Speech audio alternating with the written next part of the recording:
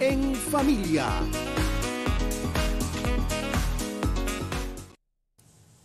Aquí estamos de vuelta. Mira, el expresidente que ya, bueno, no le debería decir expresidente después de tantos años, pero bueno, Hipólito Mejía y su esposa positivo al COVID-19, lo anunció Hipólito Mejía, eh, que está afectado del COVID, y lunes lo acaba de decir, al igual que su esposa Rosa de Mejía.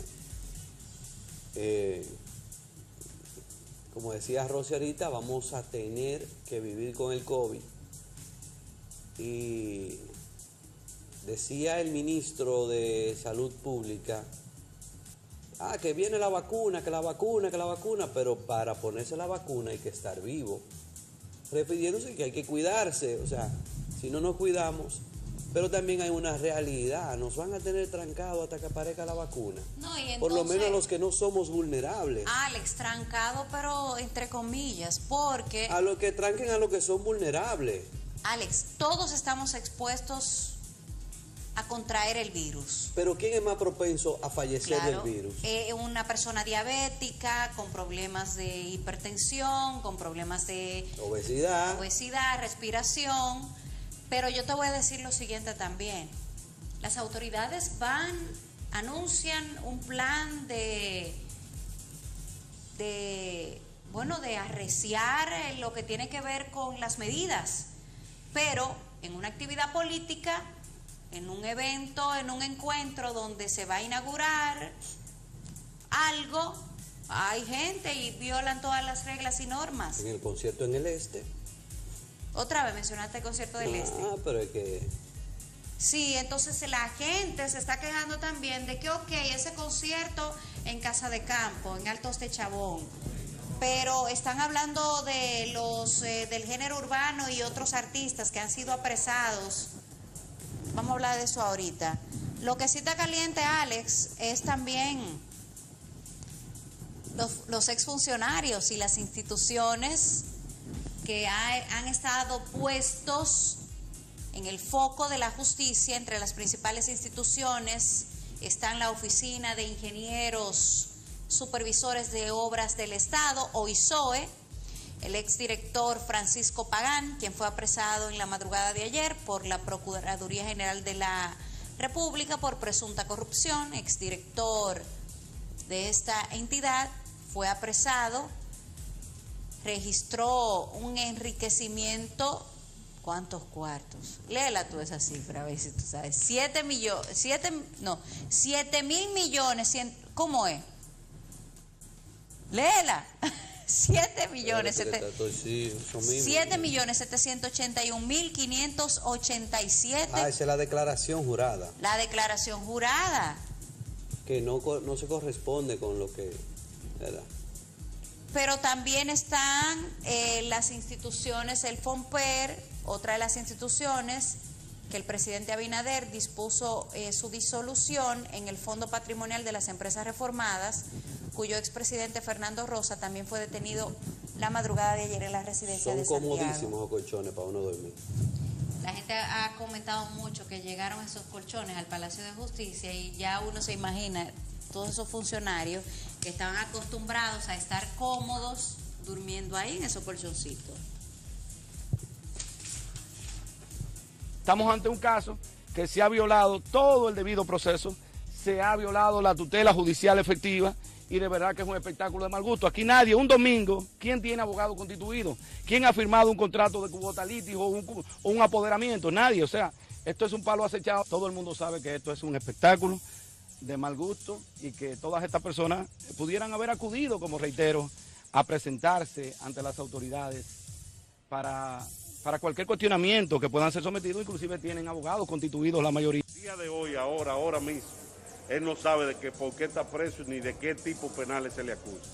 Esas son, esos son de las violaciones, de las violaciones que está cometiendo el Ministerio Público. Lo primero es que él sufre eh, de hipertensión, de tiroides, tiene problemas, como usted lo ve, de, de, de- de- de vitiligo. Vía 5 de los 10 imputados, ellos están con buen ánimo y confiados, lo más importante, confiados en que su responsabilidad penal no está comprometida en este proceso. Yo creo que, que a él se le debió haber avisado.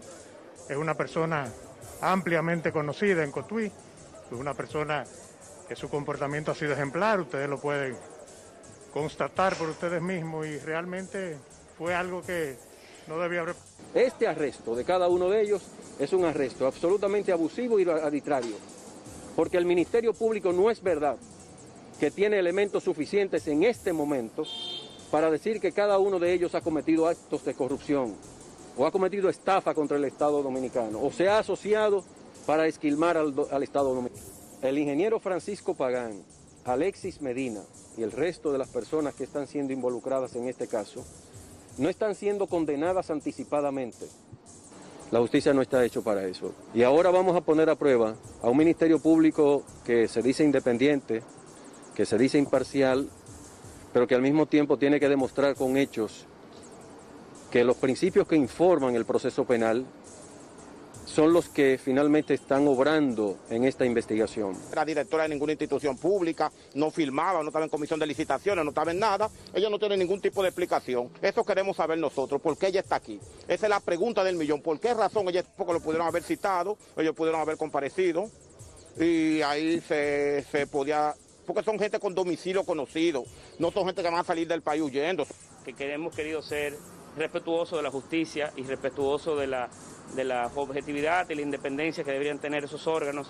Por eso no quisieron emitir ninguna opinión que pudiera malinterpretarse. Y el Ministerio Público no tenía orden de arresto y orden de allanamiento, entonces violó la ley, pero si la tenía, entonces cumplió con los requerimientos.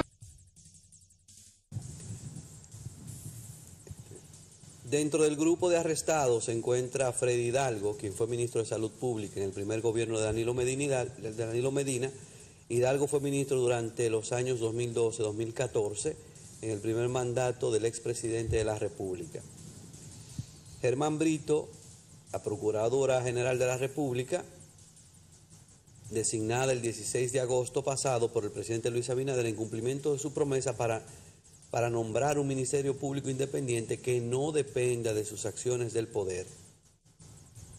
El mandatario designó también a Jenny Berenice Reynoso como procuradora adjunta encargada de persecución, mientras que el PECCA está dirigida por Wilson Camacho, uno de los fiscales que lleva el caso de sobornos de la constructora Odebrecht.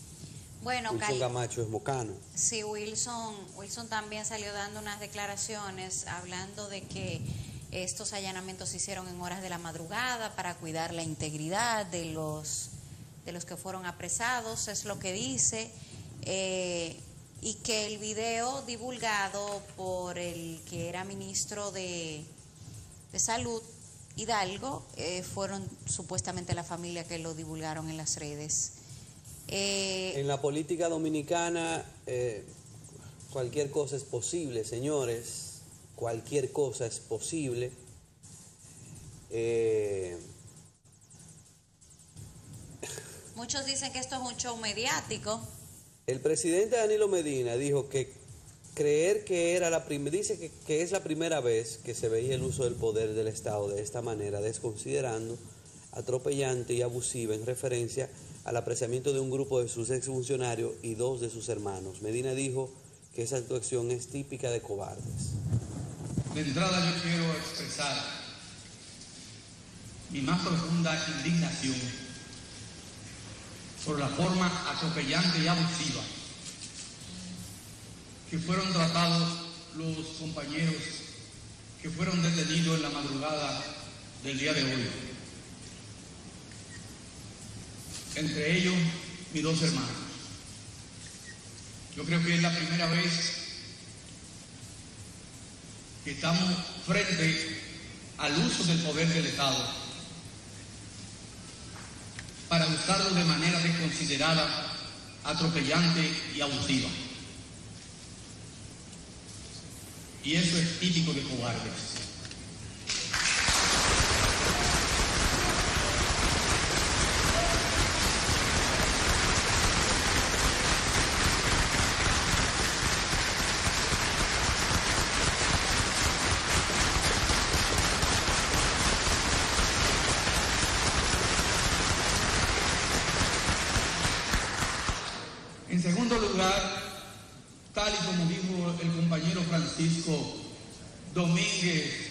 A nombre del comité político, no nos oponemos a que cualquier acto que se considere ilícito sea investigado. Y si alguien es responsable, pues que recibe el peso de la ley.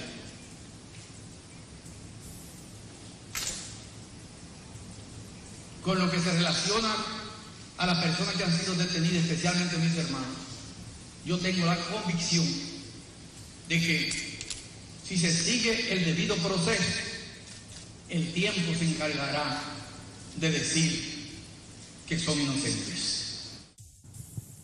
Nos imaginamos la presión de Danilo, automáticamente eh, fueron apresados dos hermanos y funcionarios de su gobierno. La presión que sintió él, obviamente, pero también la presión que recibió. Tuvo que dar una rueda de prensa al partido inmediatamente. Y de una vez eh, las opiniones no se hicieron esperar por parte de Leonel Fernández, quien es presidente del partido La Fuerza del Pueblo. Yo imagino que Leonel está de risita porque, tú sabes. El PLD lo que le ocurrió realmente fue que murió de éxito.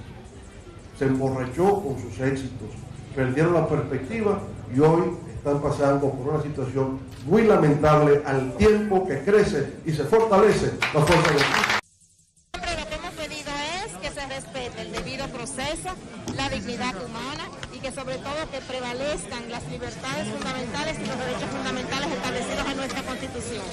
Después pueden investigar a todo el que quieran, pero por favor, háganlo dentro del marco jurídico, porque sin eso no puede prevalecer ni el contrato social ni una gobernabilidad necesaria en estos momentos de tanta incertidumbre. Los partidos nacen, evolucionan, crecen y si no defienden los valores y principios se debilitan, se extinguen y se mueren. Así afirmó el presidente de la Fuerza del Pueblo, Leonel Fernández, expresidente de la República, expresidente del Partido de la Liberación Dominicana, en un encuentro eh, en el ámbito político, profesional y social de la provincia Hermanas Mirabal. Recuerda que en, eh, después del gobierno de Hipólito se atacaron funcionarios de ese gobierno, después del gobierno de Leonel también se atacaron funcionarios del gobierno de Leonel, etcétera, etcétera. Decía alguien en las redes sociales, cuando yo vea a Hipólito, a Leonel y a Danilo presos, voy a empezar a creer en la justicia de República Dominicana. Bueno, Estoy repitiendo lo que él dijo. ¿eh? Muy atinado. Que arregle ahí, que Muy atinado el comentario. que, que desatina un poco la. Des- Y tú, y tú atinaste con el comentario. Es que, que- señores, pero si, si es el, aunque no somos culpables de lo que hagan nuestros hermanos, ¿eh? Pero, Sí, pero- ¿cómo es posible? Alex, si están No, sí, acusando a un hermano de corrupción y tú fuiste el presidente, de, de alguna manera tú te involucrado. Algo tú tienes que saber, algo se te debe colar, porque me perdonan, ¿eh? ¿Tú viste el meme no de- puede acusar a nadie, ¿Tú pero el meme de Danilo? la no. justicia es la que tiene que hablar. Es muy temprano para uno emitir un juicio, pero uno como ciudadano como que dice, conchale, que yo no sé qué es lo que Rosy, mi hermana, está haciendo. Siendo yo presidente de la República, que debo saberlo todo, que tengo un DNI, que tengo eh, eh, eh, todos los organismos de seguridad a, a mi mandato, a mi poder, y los senadores y todo el mundo. Incluso Nuria hizo un reportaje de él, del hermano de, de, de Danilo. ¿Y quién era que llevaba todas esas caravanas eh, full de todo con el movimiento este tornado? Un lío de mujeres bonitísimas, ¿eh? Yo vi el reportaje, la Tú verdad. ves, entonces, es como que tú no te das cuenta, es demasiado escandaloso, porque una cosa es que tú estés haciendo algo por debajo de la mesa, Rosy, como mi hermana, y sea algo sencillo, tú sabes, ¿verdad? Que invertiste 10 mil pesos en un negocio, eso yo no lo sé, pero que tú tengas 3 millones y compra un carro, y compra una casa, y compra otra casa por allí, tiene una villa por allá, y tiene armas de fuego igual de espalda, y un edificio, y un... Rosy, ven acá, ¿qué tú estás haciendo? Yo como hermano, siendo nadie, te pregunto, Rosy, ¿en qué que tú estás metida? ¿Qué tú estás haciendo? ¿Qué será el presidente que su hermano esté a- abultando una, un dinero tan alto? Dice, aunque sea legal, se ve raro. Se ve raro que sea el hermano del presidente que esté abultando Vamos a tanto ver dinero. en qué para esta situación y qué va a pasar con estos funcionarios y ojalá, bueno, la justicia haga su trabajo y nosotros como ciudadanos estamos muy al pendiente. Es lo que no quería, yo me metiera más hondo. No, estate quieto porque que tú sabes, dime. Yo- no vamos a entrar en detalle.